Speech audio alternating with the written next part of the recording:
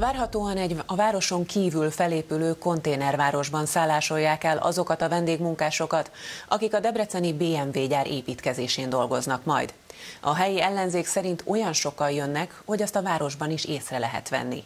Debrecen polgármestere azt mondta, nem érti a baloldali képviselők aggodalmát, mert a városban már most is közel száz nemzet polgárai dolgoznak és tanulnak.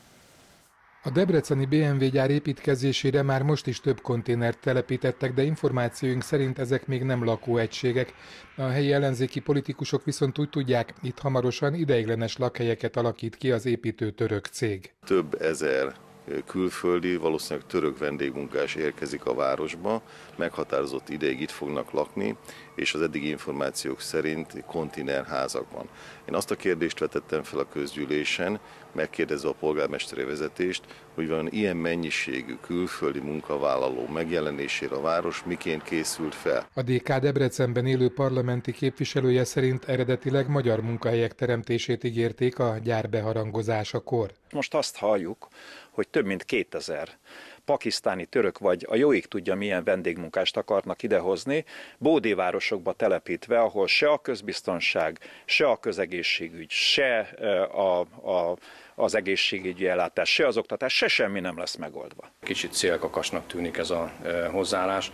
A Debrecenbe érkező vendégmunkásokkal kapcsolatban a város Fideszes polgármestere azt mondta, érdekes, hogy az eddig a befogadás fontosságát hangsúlyozó ellenzék szólal fel az ideérkező külföldiekkel szemben. Szerinte a munkások nem fognak gondot okozni a városban. Debrecen számára a közbiztonság az rendkívül fontos.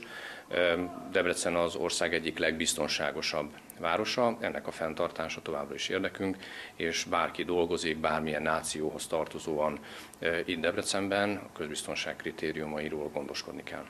A polgármester azt is hangsúlyozta, abban nem az önkormányzat az illetékes, hogy egy BMW méretű világcég kivel végezteti el a különféle munkafolyamatokat.